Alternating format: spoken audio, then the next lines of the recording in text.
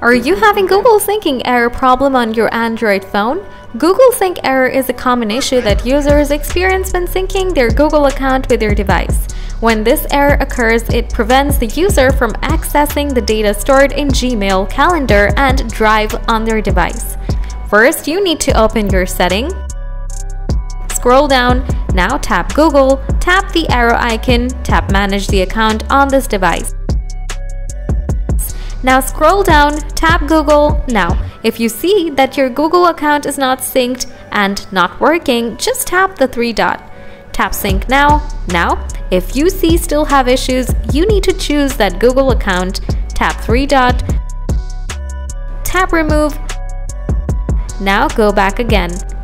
Before you add back your Google account to your Android phone, you need to come to the main page of your mobile. Open the Google Play Store. Now type Google. Tap Google now. If you found a new update, be sure to update that.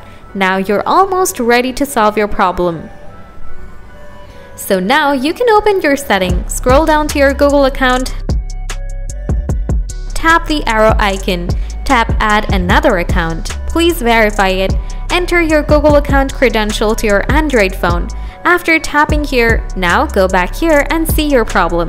After following all the processes, you'll solve your sync issues on your Android device. If you still have problems with your Google account, let me know in the comment section. Thanks for watching.